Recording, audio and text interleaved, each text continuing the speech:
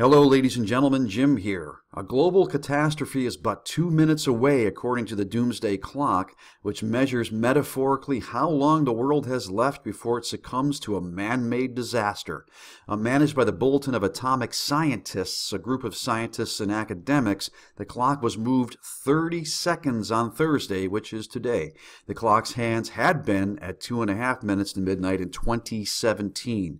Rachel Bronson, Bulletin of the Atomic Scientists, CEO, said this year that nuclear weapons and the unpredictability of nations holding them were a major consideration.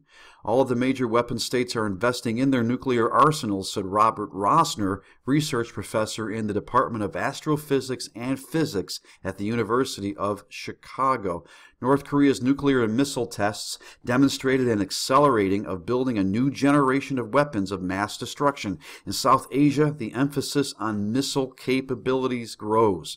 The nuclear arsenals of all the major weapon states are being updated and imbued with enhanced capabilities. The Trump nuclear posture review appears likely to increase the types and roles of nuclear weapons in U.S. defense plans, uh, he added, that being uh, Robert Rosner.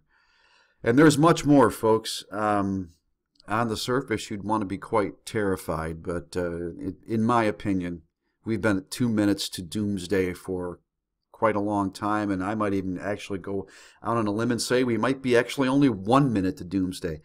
Um, we are in perilous times, folks. Uh, there's no doubt about it. We are in the end of days, and uh, we are seeing events every day. We're at a point in history now where anything could happen at any time.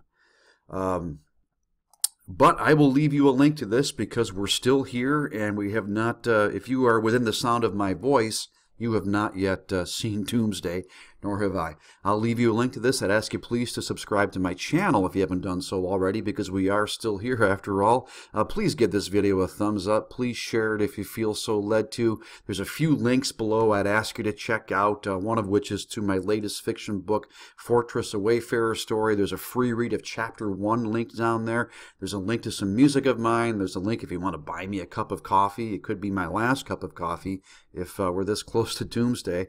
Um, that, that link is down there as well. But most importantly, folks, especially when you see stories like this, and there is legitimacy here, no doubt, absolutely, should be taken seriously. But do not be given over to the spirit of fear, but instead of the power of love and of a sound mind that comes through our Lord and Savior, Jesus Christ. This is Jim signing off. God bless you.